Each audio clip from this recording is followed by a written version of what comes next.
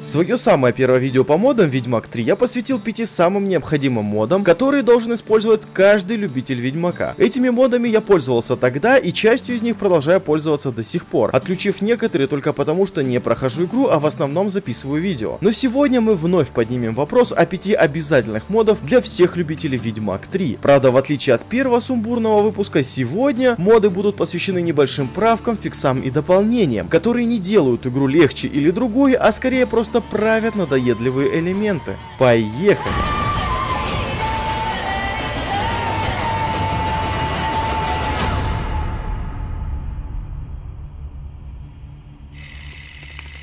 Привет, ковбой! С вами Войс Ребус и просто канал об играх. А начнем мы с того, что и так должно быть в настройках игры. Отключение навязчивого и надоедливого видео повторения событий игры. Вот этих вот штуковин. Король Дикой Охоты находился на палубе Нагельфара огромного корабля, способного путешествовать между мирами. И о боже, разработчики вроде не раз обещались добавить возможность отключения этих сторибук видео в настройках, но там так ничего и не появилось. Но тут нам на помощь приходят моды, которые выключают не только этот надоедливый элемент, но и интро при входе в игру. Не критичная, но все же отличная правка. Хотя я и не советую отключать эти штуки в первом прохождении, так как иногда, первую сотню раз, их даже интересно слушать. Но вот вы уже играете, основная сюжетная линия внимание, вам срочно нужно в Новиград, вы спешите найти и спасти Цири, но ваша лошадь так не считает, и в мгновение ока плотва, как будто увидев скоростной радар или гаишника в кустах из галопа переходит на обычный шаг. Почему так? Ведь тут практически скоростная мостовая и неписи убить нельзя, им не страшно. Но нет, это ничем не обоснованное ограничение, заставляющее медленно перемещаться в городах, существует.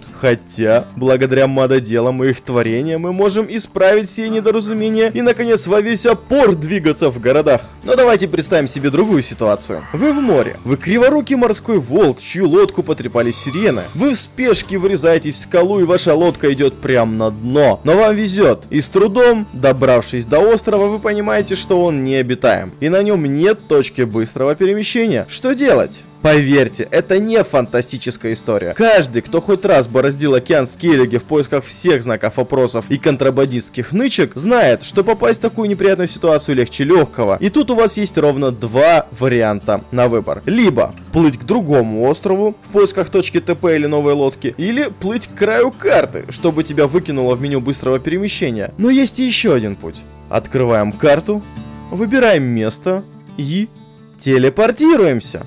Обожаю моды, их возможность влияет на мир в положительную сторону. Хотя, признаться честно, я против возможности телепортации из любой точки мира, так как пропадает необходимость путешествовать и находить интересные места. Поэтому используйте это с умом и не прибегайте лишний раз к такому способу. Мы ведь играем в РПГ и должны отыгрывать свои роли. Ой, как хорошо, что Геральт умеет плавать. Но вот от чего я точно не откажусь, так это от следующего мода. Перед нами шикарный вид на крепость Каэр с ближайшей сторожевой башни. Кстати, интересно, кто, когда и для чего ее построил? Но не об этом сейчас. Этот вид вы могли наблюдать в одном из моих прошлых видео. И знаете, что я вам скажу? Чертовски сложно заставить Геральта правильно встать на эту гребаную балку. Иногда так хотелось просто разбежаться, прыгнуть и не умереть. Ибо весь материал отснят, прошлый мод еще не был найден, а спускаться так быстрее всего. Наш четвертый мод не дает умереть Геральту от падения с высоты. Этот мод не принесет никаких бонусов, не даст заработать вам лишних денег и не позволит добраться до недоступных мест. Но так иногда бесило, прыгая по крышам домов, случайно сорваться и умереть. А учитывая, что я большой любитель снимать подводки из самых замысловатых местах, мне этот мод просто необходим. Впрочем, возможно лишь мне. А вот следующий мод придется по душе всем, кто проходит игру. Я бы, наверное, его даже включил в пятерку самых важных, не влияющих на игру модов, которые необходимо обязательно ставить даже во время первого прохождения. Этот мод дорабатывает карту и добавляет на нее метки обо всех текущих местах. На карте появляются специальные восклицательные знаки, введенные в круг, которые показывают, что на этом месте вам доступен следующий этап определенного квеста. Очень удобно, кстати. И опять-таки, у мода есть три варианта. Сейчас вы видите стандарты. Облегченная версия показывает вам то же самое, но только без собственных значков. Ее ставить не советую, так как можно запутаться. И полная версия показывает не только задания, ну и в принципе все знаки на карте, вплоть до скрытых торговцев. Хотя данная версия менее стабильна, чем стандартная, она себя полностью оправдывает.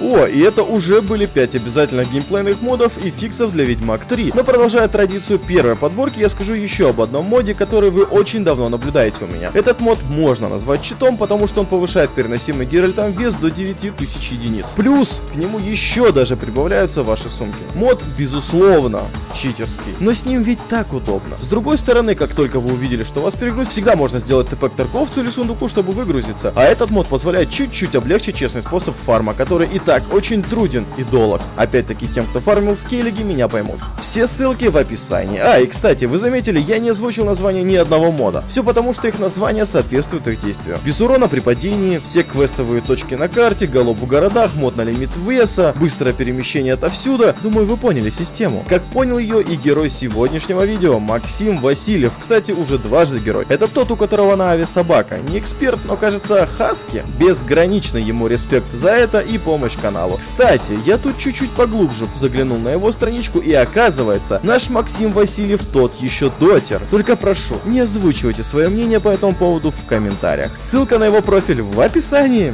А на этом все. Видео заслужило лайк, а я подписки на канал. Напоминаю, что у любого из вас есть возможность стать героем видео или заказать свой обзорчик от меня. А еще сегодня последний день конкурса в нашей группе ВКонтакте, если кто-то еще помнит о таком. Все ссылки в описании. Увидимся в следующем видео и на этом всем пока-пока.